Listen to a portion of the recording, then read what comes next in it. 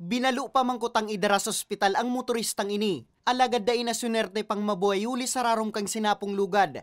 Kan maaksidente poko mas o menos alas 3.48 kasudmang hapon sa tinampong sakop kang barangay Aroroy Huban, Sorsogon. Binisto ang nagada na si John Andre Lagardo E. Surbano, 19 anyos asin residente kan Barangay Balogo East District, Sorsogon City. Sa impormasyon, antes ang pagkakaaksidente, gikan subot si Lagardo sa sarong ekskursyon sa Banwaning Huban.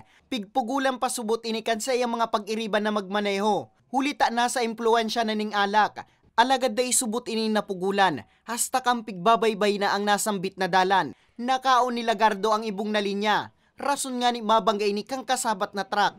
Ah, parang may babalikan siya sa kinarigusan ni Dahil parang may nabilin pa or nawala sa iba. Ang istorya po, di rin man talaga siya dapat ang magdadrive. Bagang inagaw niya ang motor na siya na lang daw ang ma-drive.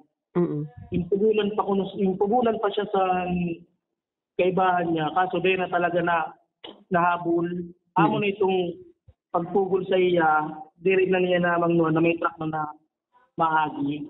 Napag-araman man na mayong sulot na helmet si Lagardo. Seryosong tama sa payo ang sinapo kay ni kausakan sa iyang pagkagadan.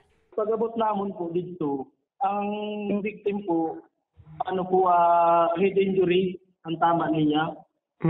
Kapit kami sir, nakita na helmet. Tapos nakairin yung kaya sinda sir, Sigun sa MDRRM Huban, accident-prone area ang lugar, kaya mas maray ang nagtatagaingat. Sa presente, nakapatente na ang bangkay kang biktima sa sindang residensya.